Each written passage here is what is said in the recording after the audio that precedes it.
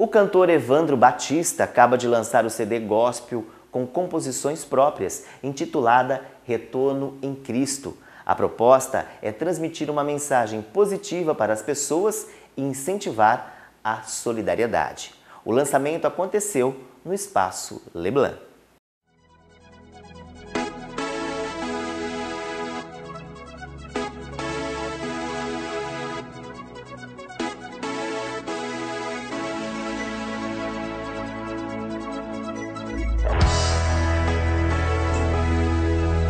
Esse é o primeiro projeto que está saindo agora, em, já em janeiro, né?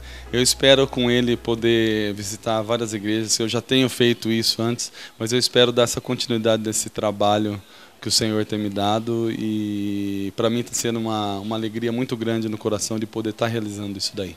O CD é com 13 faixas, todas composições minhas. Na realidade eu tenho várias faixas ainda, eu tenho, tenho músicas para poder compor mais né, volumes. O que me incentivou, se me permite falar, a, a fazer isso daí é, nós tocávamos já na nossa comunidade, às vezes as pessoas perguntavam, você não tem algo gravado para a gente? Eu falei, eu não tenho ainda. E o ano passado nós também fomos num concurso, eu fiquei sabendo que ia ter um concurso gospel em Campinas, eu me inscrevi, arrumei uma pessoal para tocar comigo, né? E eram 15 bandas e naquele, na, naquele dia lá nós acabamos ficando em segundo lugar, coisa que eu nem imaginava com as minhas músicas. Eu fui lá para divulgar e de repente voltei com um troféu. Então para mim foi um, um startup grande para mim poder dar mais ênfase, dedicar mais para esse foco, retorno em Cristo.